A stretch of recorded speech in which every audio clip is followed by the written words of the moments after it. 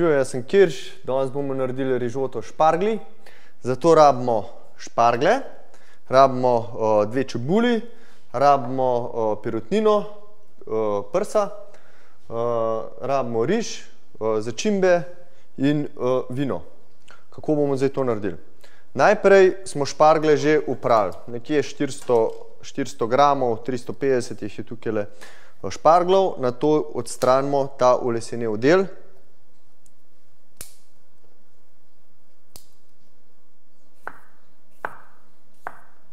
ne na preveč velike dele. Tale vršiček pa kar pustimo takle, kar je upoj za dekoracijo. Zdaj imamo dve čebule, ki jo bomo narezali.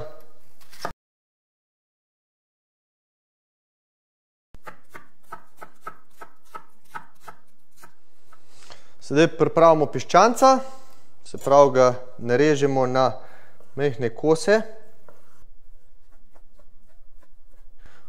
Porabili smo drugo desko, zato je to perutnina. Tako. Tako. In sedaj bomo popekali piščanca, še prej čebulo in na to špargle v posebni posodi. Ok, čebula je narezana, zdaj damo posodo mečke nola in pa to čebulo stresemo v ponev.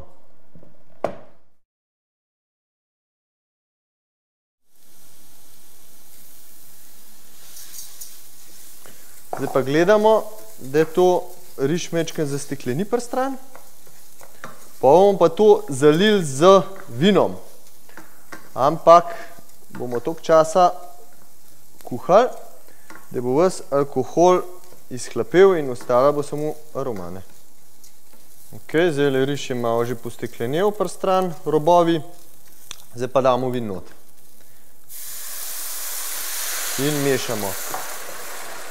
Evo, alkohol je izhlapel, lahko dodamo piščanca.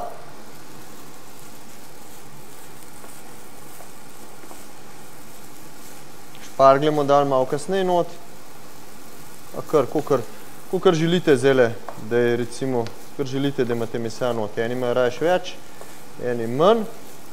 Zalijemo z jušno osnovo. In s to jušno osnovo bomo skozi zalivali. Zdajle bomo pa noter dali še špargle.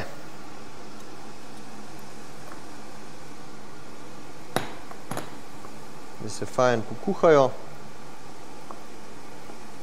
Špargle sem dal mečkam kasneje not, ampak še vse morajo biti pokuhani. Zdaj smo že proti koncu. Bomo dali še malo svežega origana noter. Noter. Mešamo. Pa skos mešamo rižoto. To mora biti skos zraven, to je treba skos mešati. Solimo po želji. Ne preveč soliti na začetku, zaradi tega, ker zalivamo z jušno osnovo in potle je lahko hitro preslano.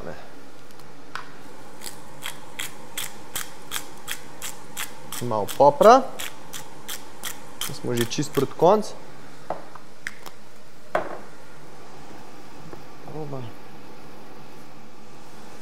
Tole je že kar narejen. Še malo probamo.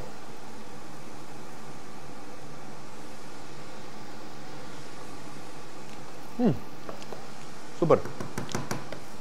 Damo zdaj za ne par minut počivati stran. Potle bo pa nared, da postrežemo mi. Rižota je gotova. Še poserviramo, oziroma postrežemo.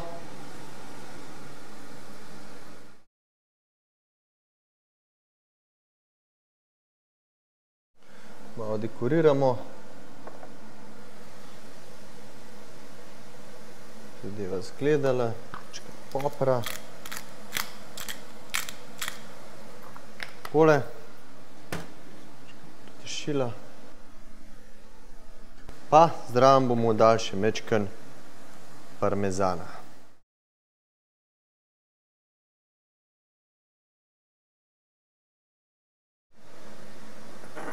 Takole,